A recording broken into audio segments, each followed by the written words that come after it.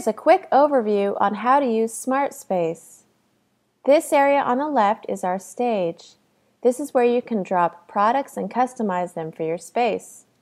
You have the option of selecting any background here, or you can also upload your own from your computer or mobile device such as an iPhone or iPad. This second tab is where you can search for products by name, brand, or color.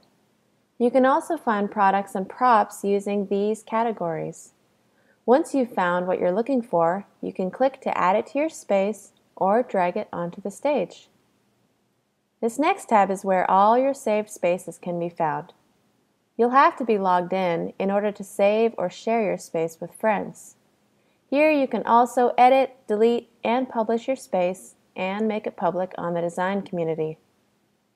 Finally, this last tab will show you a summary and price of all of the items in your space to allow you to easily select and purchase them. We also have quick tutorials for the tools. You can view them by clicking on the help link over here on the top right corner.